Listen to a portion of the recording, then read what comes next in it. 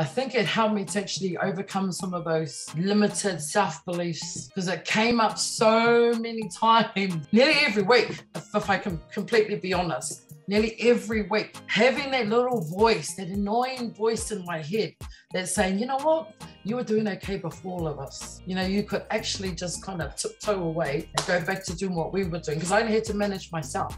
And I had to learn to, you know what, grab that thing and throw it away, the bottom of the ocean with the Titanic where it belongs. And then I had to refuel, empower myself to go, you know what, you got this. Sky's the limit, girl. Sky is the limit when you find yourself in a place of believing in yourself, because I had to learn that it was a process that took a little while, and, it, and it's still a learning curve even for me now.